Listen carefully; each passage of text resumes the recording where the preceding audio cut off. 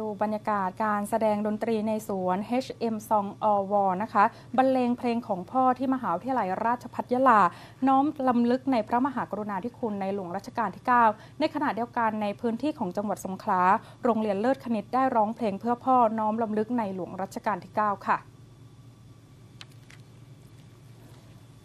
ที่ลานวัฒนธรรม พิพิธภัณฑ์มรดกทางวัฒนธรรม ศูนย์ศิลปวัฒนธรรม มหาวิทยาลัยราชภัฏยะลา กระทรวง การอุดมศึกษาวิทยาศาสตร์วิจัย และนวัตกรรมส่วนหน้า หรืออวส่วนหน้า ร่วมกับมหาวิทยาลัยราชภัฏยะลา สถาบันวิจัย และพัฒนาชายแดนใต้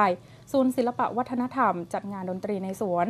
HM Song อวบรรเลงเพลงของพ่อ เนื่องในวันคล้ายวันพระบรมราชสมภพพระบาทสมเด็จพระบรมชนากาธิเบศรมหาภูมิพลอดุลยเดชมหาราชบรมนาถบพิตร 5 ธันวาคม 2566 แสดงออกซึ่งความจงรักภักดี และน้อมลำลึกในพระมหากรุณาธิคุณ โดยภายในงานได้มีพิธีถวาย ราชสักการะวางผ่านพุ่มดอกไม้สด จุดเทียนมหามงคล มีการแสดงวงดนตรีบรรเลงเพลงพระราชนิพนธ์เทิดพระเกียรติ 5 ธันวาคม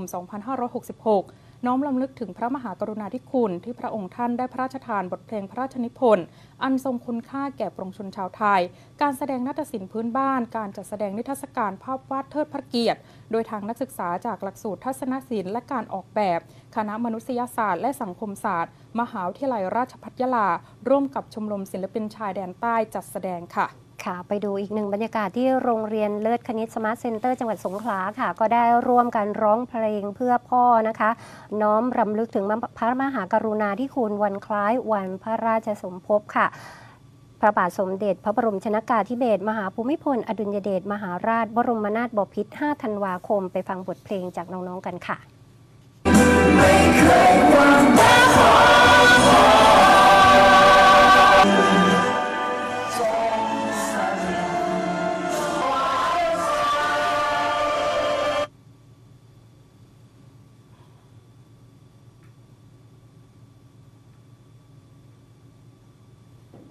และนี่ก็คือบทเพลงเพื่อในหลวงรัชกาลที่ 9 ของคณะครูผู้ปกครองและนักเรียนที่ร่วมกันขับร้องบริเวณลานหน้าโรงเรียนค่ะ โดยมีการร้องเพลงตามปณิธานตามรอยพ่อ 5 ธันวาสัญญาด้วยหัวใจ สานต่อพ่อภูมิพล ซึ่งโรงเรียนเลิศศิลป์ ขออภัยค่ะ ซึ่งโรงเรียนเลิศคณิตสมาร์ทเซ็นเตอร์นะคะ ก็ดำเนินการมาอย่างต่อเนื่อง เพื่อรำลึกถึงพระมหากรุณาธิคุณของพระบาทสมเด็จ พระบรมชนากาธิเบศรมหาภูมิพล อดุลยเดชมหาราช บรมนาถบพิตรเนื่องวันคล้ายวันพระราชสมภพ 5 ธันวาคม 2566 นอกจากนี้นะคะยังได้มีการต้อนรับขบวนนักวิ่งนับร้อยคน ในกิจกรรมวิ่งรำลึก 5 ธันวา 5ธันวา 89พรรษา 89 กิโลเมตร วิ่งทำความดีเพื่อพ่อ ซึ่งทั้งนี้นะคะคณะนักวิ่งก็ได้ร่วมร้องเพลง ขอเป็นค่ารองบาททุกชาติไป เป็นภาพความประทับใจสำหรับผู้ที่สัญจรผ่านไปผ่านมาก็ได้เก็บภาพไว้เป็นที่ระลึกค่ะ